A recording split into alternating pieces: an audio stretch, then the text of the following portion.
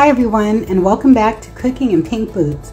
And once again, I'll be visiting my beautiful island of Guam and would love if you join me by indulging into the flavors of my home with my Kadun Pika.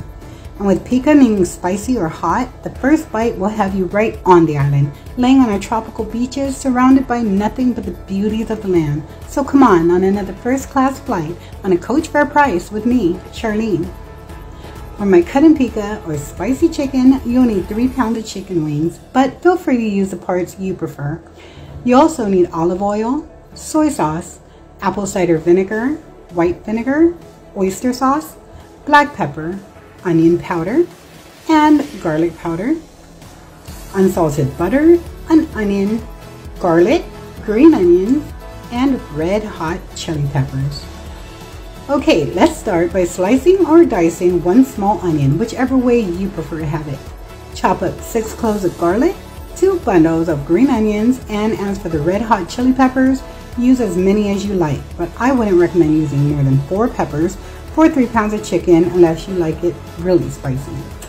Therefore, I chopped five, but that's me.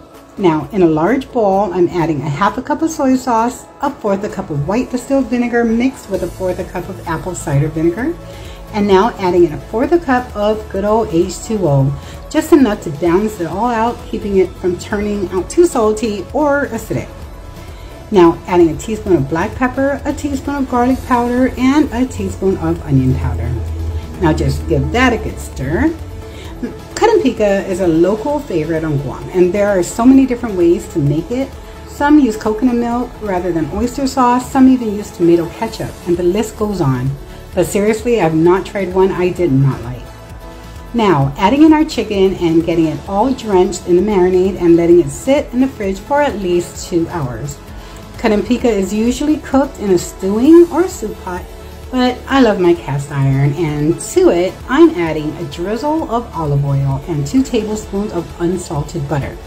Now the butter will not only add additional flavor but will also give our sauce a more velvety texture.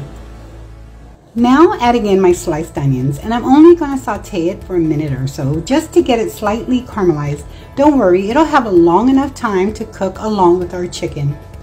And once the onions are slightly softened, you want to form a large well in the middle to lay out your chicken to get an even brown on both sides. We're not looking for a charred crust, just a golden brown color by cooking for about two to three minutes on each side. And of course, I had to once again prove myself human by forgetting to add the garlic shortly after sauteing my onions. But it's okay, like a good human, I'm gonna make it work. See? okay, now let's move on. After cooking my chicken on each side for three minutes, I'm adding in all that marinade right into the pot. And I'm gonna put the lid on, stirring occasionally until the sauce reaches a rapid boil.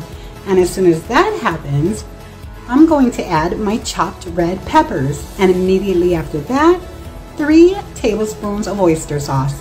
Mix that in really well, then cover, set heat to medium high, and allow the chicken to cook completely, stirring occasionally, and reduce heat if you feel the need to.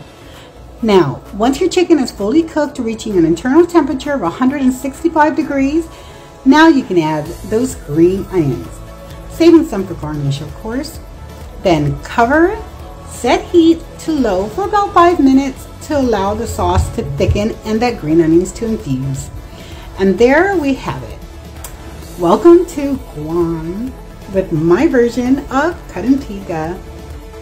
Doesn't it look absolutely delicious? Well, that's because it is.